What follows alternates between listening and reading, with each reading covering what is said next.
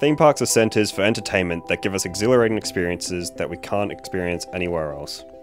However, anyone who has been to a popular theme park during a peak season knows that while we go for the attractions, we actually spend much of our time waiting in queues. We have created a prototype social game to be played in the queue of the Justice League ride at the Movie World theme park. The game involves guests using a smartphone camera to identify augmented reality markers located throughout the queue. Guests will see a virtual wormhole open up, with alien enemies emerging from it. The players must tap on these enemies as quickly as possible to destroy them before they escape. Boss battles are triggered every time a roller coaster cart leaves the loading bay. During boss battles, players must work together to destroy a large enemy on a centralised marker. After the boss battle, guests can no longer return to the marker they were playing on, and are encouraged to move on to the next marker. This mechanic promotes a normal queue flow and also gives playing guests a sense of progression, both in the physical queue and through the levels of the game.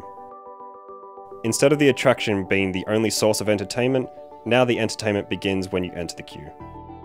We envision a future theme park where the barrier between attractions, queues, and the general park area are blurred with a unified entertainment experience that extends throughout the park.